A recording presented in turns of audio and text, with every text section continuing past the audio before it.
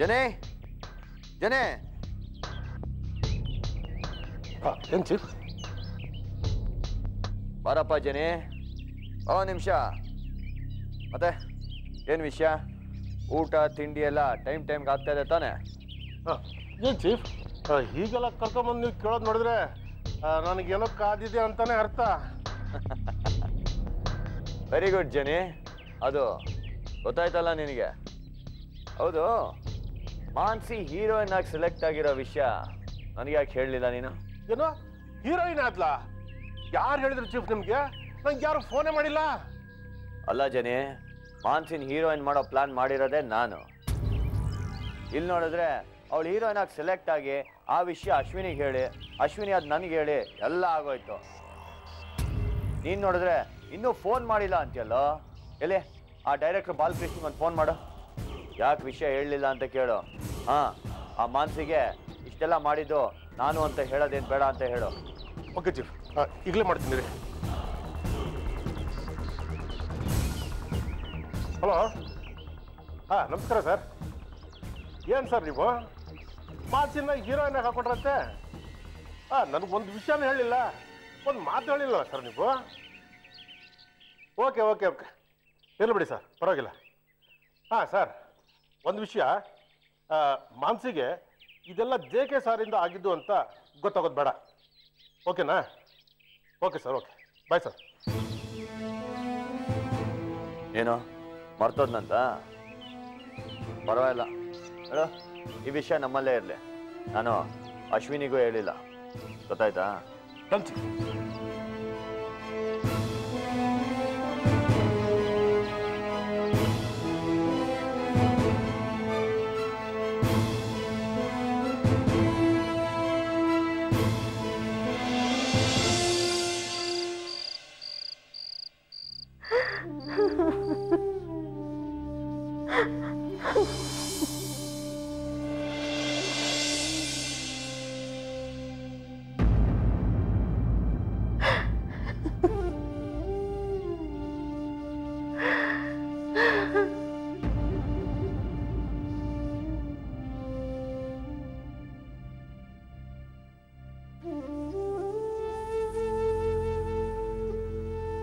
ಅರೆ ಆಯಿ ಏನಾಯ್ತು? ಯಾಕೆ ಅಳ್ತಾ ಇದ್ದೀರಾ? ಕೃಷ್ಣ ಏನಿಲ್ಲಪ್ಪ ಏನಿಲ್ಲ. ಹೇಳಿ ಆಯಿ ನಮ್ಮ ಮನೆಯವರಿಂದ ಏನಾದ್ರು ತೊಂದರೆ ಆಯ್ತಾ? ಇಲ್ಲಪ್ಪ ಊರು ನೆನಪಾಯ್ತು ನನ್ನ ಮೊಮ್ಮಗಳು ನೆನಪಾದ್ಲು ನಂಗೆ ತುಂಬ ಹಚ್ಕೊಂಡಿದ್ದಾಳೆ. ಅದಕ್ಕೆ ಕಣ್ ತುಂಬಿ ಬಂತು. ಅಷ್ಟೇನಾ? ಬೇರೆ ಏನು ತೊಂದರೆ ಇಲ್ಲ ತಾನೇ? ಏನಾದ್ರು ಸಮಸ್ಯೆ ಇದ್ರೆ ದಯವಿಟ್ಟು ಹೇಳಿ. ಇಲ್ಲಪ್ಪ ನಿನ್ನಂಥ ಮಗ ಇದ್ಮೇಲೆ ಯಾವ ತಾಯಿಗೆ ಏನು ಸಮಸ್ಯೆ ಬರ್ಬೋದು? ಹೇಳು. ಆಯ್ತಾಯ್ ರಾತ್ರಿ ಆಯ್ತು ನೀವು ಮಲ್ಕೊಳ್ಳಿ. ನೀನು ಮಲ್ಕೊಪ್ಪ ಹೋಗು ಶುಭರಾತ್ರಿ. ಗುಡ್ ನೈಟ್ ಆಯಿ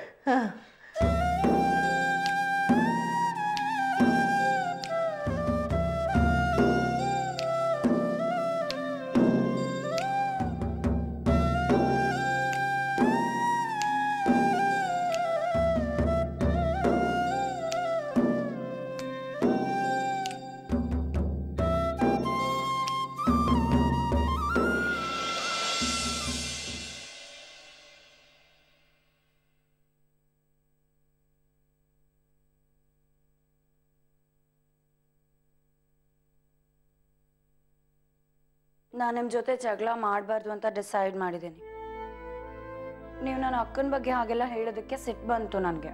ಸಿಟ್ಟು ಬರೋ ಅಂಥದ್ದು ಏನೂ ಹೇಳಿರಲಿಲ್ಲ ನಾನು. ಸತ್ಯ ಹೇಳೋದಕ್ಕೆ ಸಿಟ್ಟು ಬಂದರೆ ಜೀವನ ಪೂರ್ತಿ ಜಗಳ ಮಾಡಬೇಕಾಗತ್ತೆ. ಆದರೂ ಅವಳು ನನ್ನ ಅಕ್ಕ ತಾನೆ. ಏನೋ ಪ್ರೀತಿ ಇರಲ್ವಾ? ಆಯ್ತಾಯ್ತು. ಇರಲಿ ಬಿಡು. ಅವ್ಳು ದೊಡ್ಡ ಹೀರೋಯಿನ್ ಆಗಲಿ ಹೆಸರು ಮಾಡಲಿ. ಸಂತೋಷನಾ? ನೋಡಿ ಮತ್ತೆ ವ್ಯಂಗ್ಯ ಮಾಡ್ತೀರಾ ಅಲ್ವಾ ನೀವು? ಅಯ್ಯೋ ಇದೊಳ್ಳೆ ಕತೆ ಆಯ್ತು. ನಾನು ಸೀರಿಯಸ್ ಆಗಿ ಹೇಳಿದ್ರು ವ್ಯಂಗ್ಯ ಅಂತೀಯಲ್ಲ? ಆಯ್ತು ಇನ್ಮೇಲೆ ಏನು ಮಾತಾಡಲ್ಲ. ಹೀಗೆ ಸುಮ್ಮನೆ ಇದ್ದು ಬಿಡ್ತೀನಿ. ಅದೇ ಕರೆಕ್ಟ್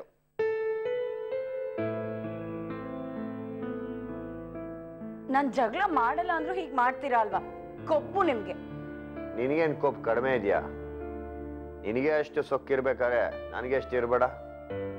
ನೇರವಾಗಿರೋದನ್ನ ವಕ್ರವಾಗೆ ನೋಡ್ಬೇಕು ಅಂತ ಡಿಸೈಡ್ ಮಾಡ್ಕೊಂಡು ನೋಡಿದ್ರೆ ರೈಲ್ವೆ ಹಳ್ಳಿನೋ ಡೊಂಕರೇ ಕಾಣಿಸುತ್ತೆ. ಏನು ಮಾಡೋಕ್ಕಾಗಲ್ಲ. ಏನೇನೋ ಮಾತಾಡಿ ಸುಮ್ಮನೆ ಸಿಟ್ಟು ತರಿಸ್ಬೇಡ ನನಗೆ. ಆಯ್ತು ಹಾಗಾದ್ರೆ. ನಾನು ಮಾತೇ ಆಡಕ್ ಹೋಗಲ್ಲ. ಆಡಬೇಡ ಒಳ್ಳೇದು.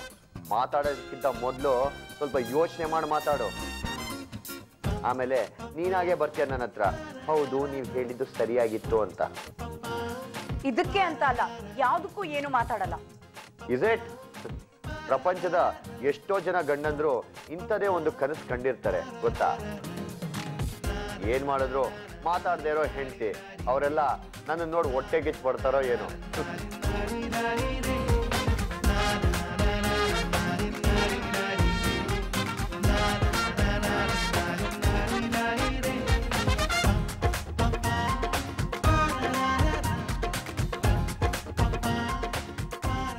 ನನ್ನ ಹತ್ರ ಚಾಲೆಂಜ್ ಮಾಡಿ ಗೆದ್ದವರು ಇಲ್ವೇ ಇಲ್ಲ ಎದ್ದೆ ಅದೆಷ್ಟು ದಿನ ಮಾತಾಡಲ್ವೋ, ನಾನು ನೋಡ್ತೀನಿ. ನಿನಗೊಂದು ವಿಷಯ ಗೊತ್ತಿದೆ ತಾನೆ. ನನ್ನ ಜೊತೆ ಮಾತಾಡದೇ ಇದ್ರೆ ಲಾಸ್ ಆಗೋದು ನಿನಗೇನೆ. ಎನಿವೇಸ್ ಗುಡ್ ನೈಟ್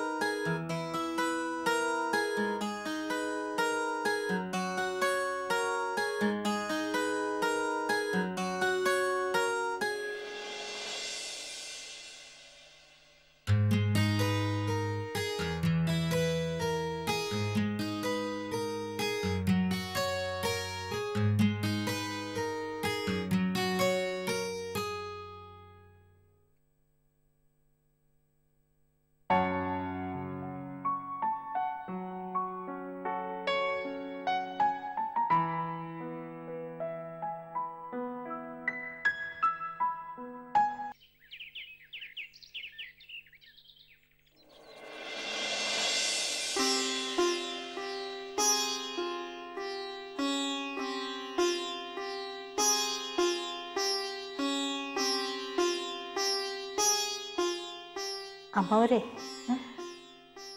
ನಾನು ಹೀಗೆ ಕೇಳ್ತೀನಿ ಅಂತ ಬೇಜಾರು ಮಾಡ್ಕೋಬೇಡಿ.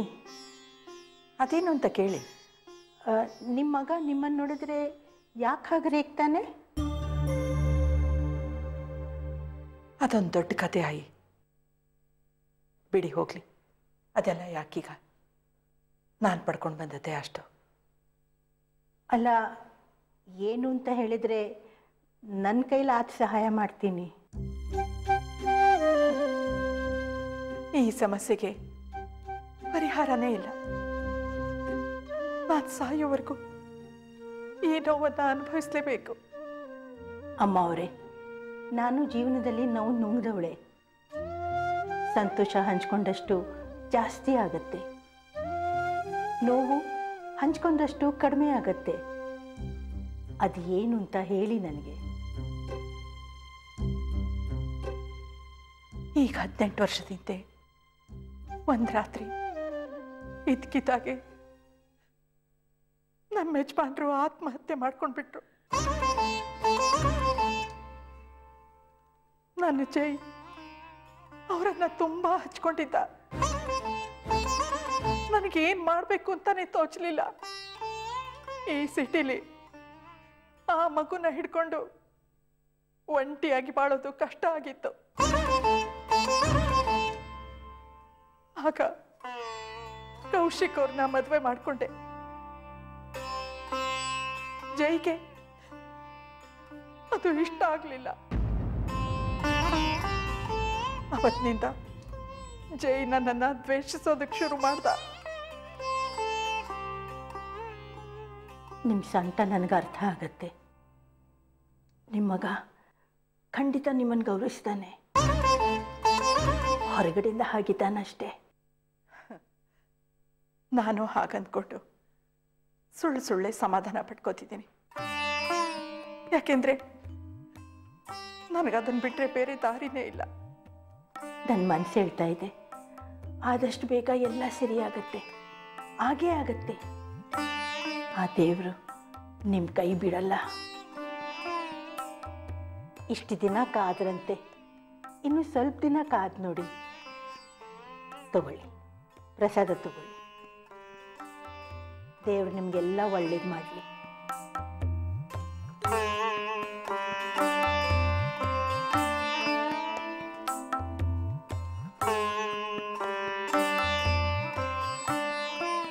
ದೇವ್ರ ಅದೇನು ಒಳ್ಳೇದು ಮಾಡ್ತಾನೋ ಏನೋ. ಕಾದು ನೋಡ್ತೀನಿ.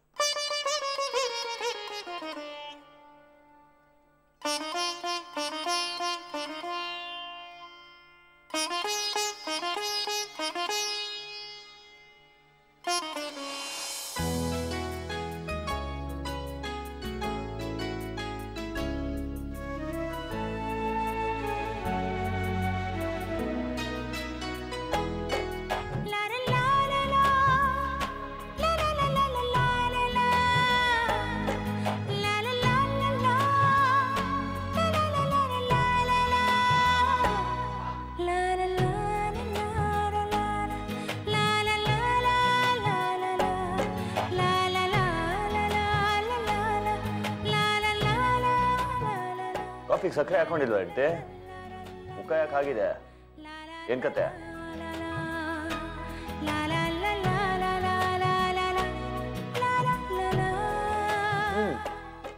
ಕಾಫಿ ಚೆನ್ನಾಗೇ ಇದೆ.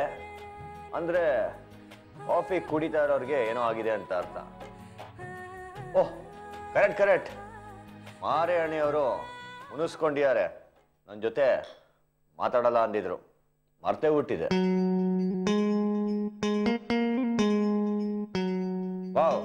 ಹಾಗಾದ್ರೆ ನಾನು ಏನ್ ಬೇಕಾದ್ರೂ ಹೋಗೋದು ನಿನಗೆ. ಏನು ಮಾತಾಡಲ್ಲ. ವೆರಿ ಗುಡ್ ಒಳ್ಳೆ ಚಾನ್ಸು. ಮಾತಿಗಿಂತ ಮೌನ ಚೆನ್ನ ಹೆಂಡತಿ ನಮ್ಮ ನಡುವೆ. ಮಾತದೇನು ದಿನವೂ ಇಹುದು ಮೌನ ಚಿನ್ನದೊಡವೆ.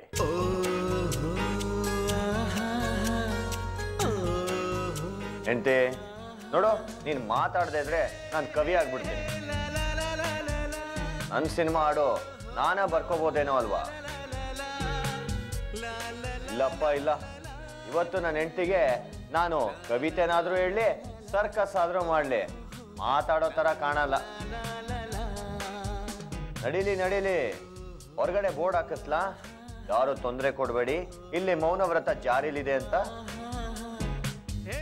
ಚೆ ಚೆ ಚೆ ಆಗಲ್ಲ ಆಗಲ್ಲ ಕರೆ ನೀನು ನನ್ನ ಹತ್ರ ಮಾತ್ರ ಮಾತಾಡಲ್ಲ ಅಲ್ವಾ? ಈ ಹೆಂಡತಿದಿರು ಮಾತಾಡದೇ ಇರೋದ್ರಿಂದ ಎಷ್ಟು ಲಾಭ ಇದೆ ಅಲ್ವಾ? ಯಾವ ಬೇಡಿಕೆನೂ ಇರಲ್ಲ, ಯಾವ ಹಠನೂ ಮಾಡಲ್ಲ. ಇದು ಹಾಗಿರ್ಬೇಕಿತ್ತು, ಇದು ಹೀಗಿರ್ಬೇಕಿತ್ತು ಅನ್ನೋ ಕಿರಿಕಿರಿ ಇರಲ್ಲ.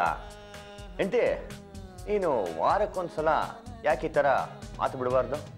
ಚೆನ್ನಾಗಿರುತ್ತೆ ಅಲ್ವಾ? ಹ್ಮ್. ಅಲ್ಲಿಗೆ ನಾನೇನೇ ಹೇಳಿದ್ರು ನೀನು ಸುಮ್ಮನೆ ಇರಬೇಕು ಅನ್ನೋದನ್ನ ಡಿಸೈಡ್ ಮಾಡಿದ್ಯಾ? ಇರಲೇ. ನಿನ್ನೆ ನಾನು ಹೇಳಿದ್ರಲ್ಲಿ ನನಗೆ ಯಾವ ತಪ್ಪು ಕಾಣ್ತಾ ಇಲ್ಲ. ಹಾಗಾಗಿ ದಯವಿಟ್ಟು ಕ್ಷಮಿಸು, ಸಾರಿ, ಅದು ಇದು ಅಂತ ಹೇಳೋ ಸೀನೇ ಇಲ್ಲ. ಈ ಜೆ ಕೆ ತಪ್ಪು ಮಾಡಿದ್ರೆ ಸಾರಿ ಕೇಳೋಕ್ಕೆ ಎರಡು ಸಲ ಯೋಚನೆ ಮಾಡ್ತಾನೆ. ಅಂಥದ್ರಲ್ಲಿ ಇದಕ್ಕೆಲ್ಲ ಬಗ್ಗೋ ಸೀನೇ ಇಲ್ಲ. ನೀನೇ ನಿನ್ನ ನಿರ್ಧಾರನ ಬದಲಾಯಿಸ್ಕೊಳ್ಳೋದು ಒಳ್ಳೇದು. ಅದೆಷ್ಟು ದಿನ ಮುನಿಸ್ಕೊಂಡಿರ್ತೀಯ? ನಾನು ನೋಡ್ತೀನಿ. ದಿನ ಹೋದಾಗೆ ನಿನ್ನ ಮಾತಿಗಿಂತ ನಿನ್ನ ಮೌನನೇ ಇಷ್ಟ ಆದರೆ ಕಷ್ಟ ಆಗುತ್ತೆ. ಅಥವಾ ನೀನು ಮಾತಾಡೋ ಹೊತ್ತಿಗೆ ನನಗೆ ಸುಮ್ಮನಿರೋಣ ಅನ್ಸ್ಬೋದು.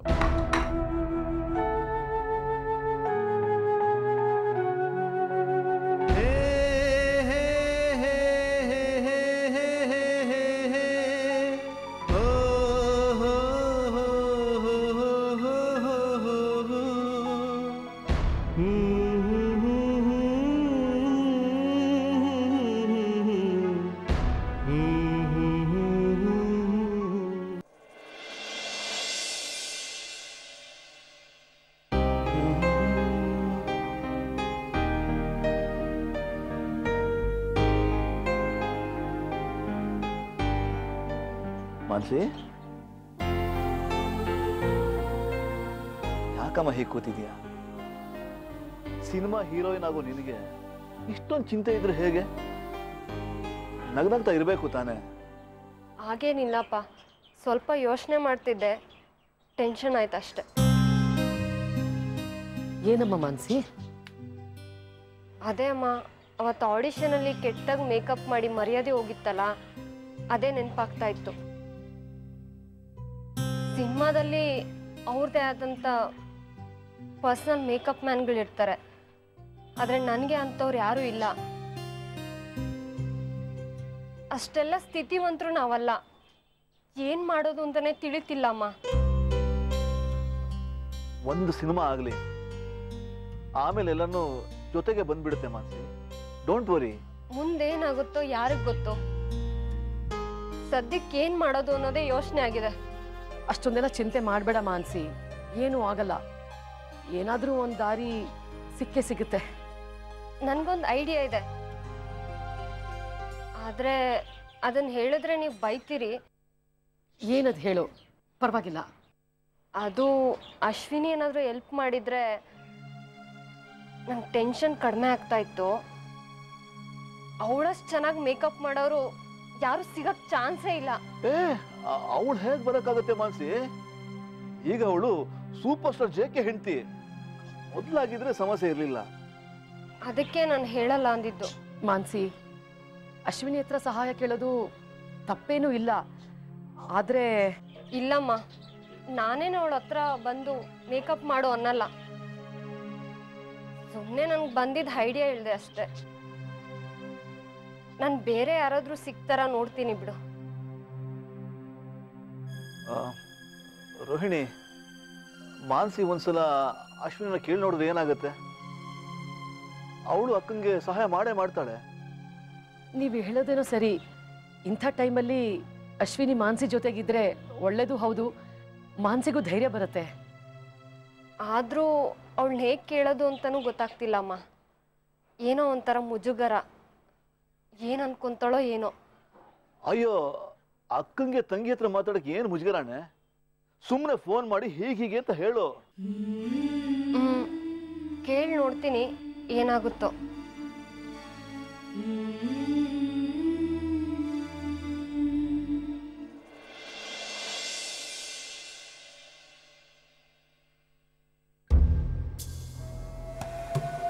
ಚೀಫ್ ನಿಮ್ಗೊಂದು ವಿಷಯ ಹೇಳಬೇಕು. ಹೇಗೆ ಹೇಳಬೇಕು ಅಂತ ಗೊತ್ತಾಗ್ತಾ ಇಲ್ಲ. ಬಾಯ್ ಬಾಯ್ ಲೇಡ. ಅದು ನಿಮ್ಮದೊಂದು ಸಿನಿಮಾ ಆಗೋದಿತ್ತು ಮುಂದಿನ ತಿಂಗಳಲ್ಲಿ. ಅದೇ ಪ್ರೊಡ್ಯೂಸರ್ ರಾಮಲಿಂಗಮ್ದು. ಹ್ಞೂ ಗೊತ್ತು. ಅದೇನೋ ಅಡ್ವಾನ್ಸ್ ಬೇರೆ ಕೊಟ್ಟಿದ್ದ. ಅವರು ನಿಮ್ಮ ಜೊತೆ ಸಿನಿಮಾ ಮಾಡೋಲ್ಲಂತೆ ಚೀಫ್? ಏನ?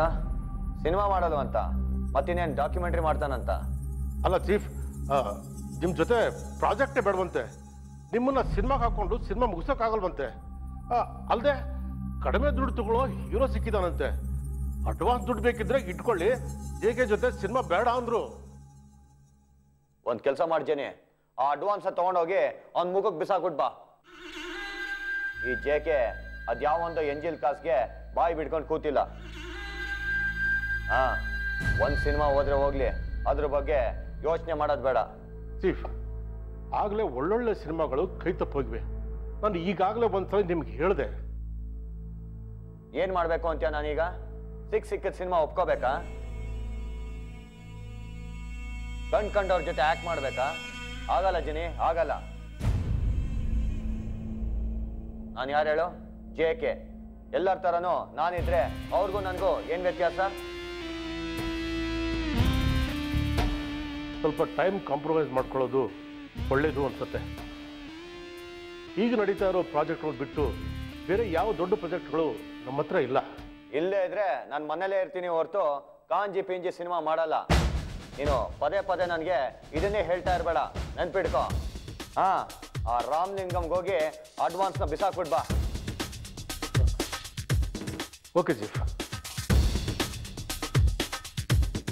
ಇದೆಲ್ಲ ಯಾಕೋ ಅತಿ ಆಗ್ತಾ ಇದೆ.